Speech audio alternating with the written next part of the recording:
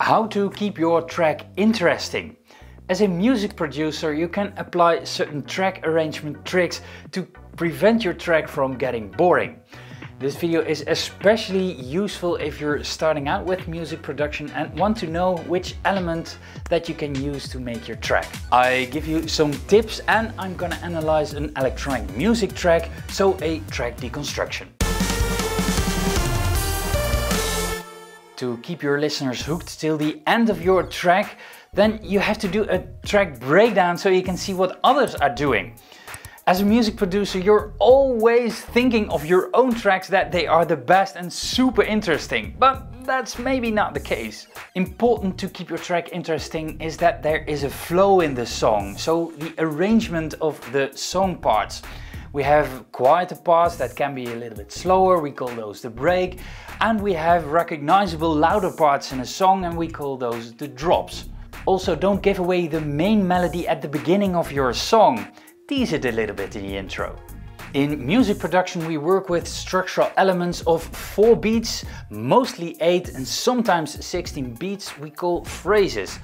Melodies tend to repeat every phrase and we tend to reuse a track arrangement in which we change up little elements every phrase. And a lot of songs have unique phrases.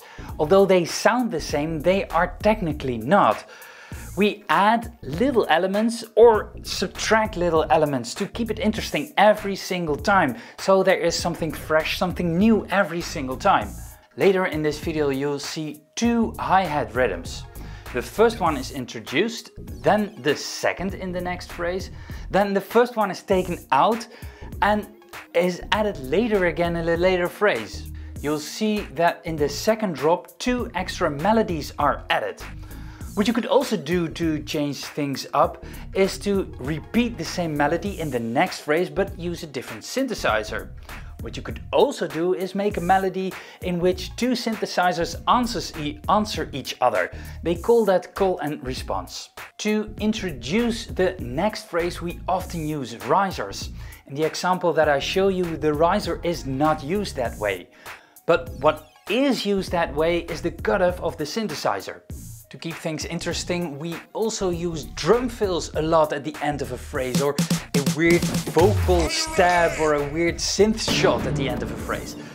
But that's not in this example. I found a free track in the YouTube library called Cologne 1983 that I'm gonna do a track breakdown on.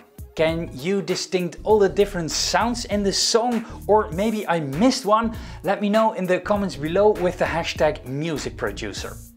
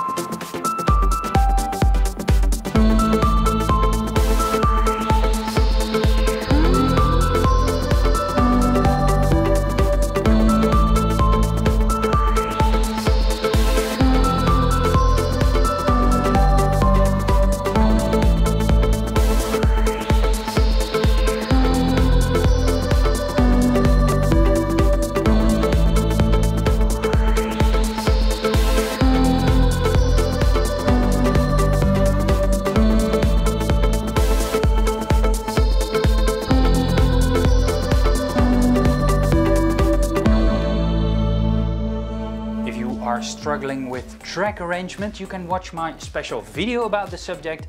The link is here in the screen or download my free ebook.